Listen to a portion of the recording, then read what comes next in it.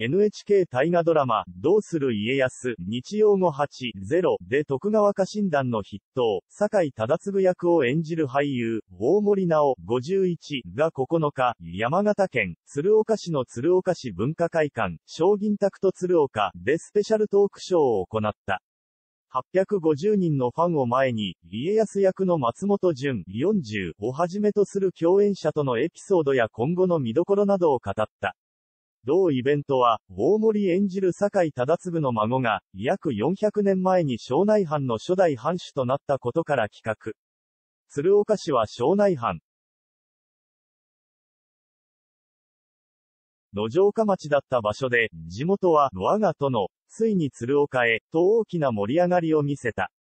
大森は開園前、現在も鶴岡市に居住する坂池当主らとゆかりの地を訪れ、中寺所有と伝わる刀や、徳川十六将図などを見学、また中寺も眠る坂池墓所、現在は非公開。を訪れた、どうする家康。のトークイベントに大森が単独で登場するのは今回が初めて。大森が紺のカジュアルなスーツに白の T シャツ姿で登場すると、会場いっぱいの観客からは一斉に吐く。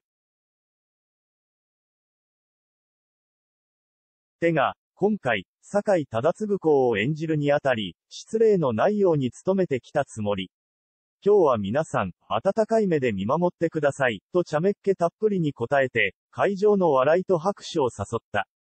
トークショー内のやりとり、石川和正、松重豊、出本後の撮影、長い撮影の中で、家臣団の結束が強くなっていた中、石川和正への思いなのか撮影が終わってしまう松重さんを思ってなのか、とにかく演じていて相当辛かったです。和正がいなくなりバランス的に寂しい。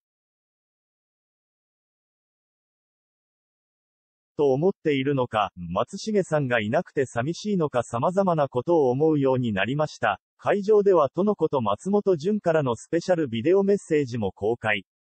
二人で行うというこっそり練習こと、コソ練について、VTR を照れながら時々うなずきながら見ていた。立て込んでくると、セリフを覚える時間がない。そんな時相手がいた方が自分の中に、セリフを、取り込みやすいんです。自分はそういうタイプだったので松本くんにも、大変だったら一緒にやるよ、と声。をかけました。歴史の解釈や感情の入れ方などを細かく話し合いました。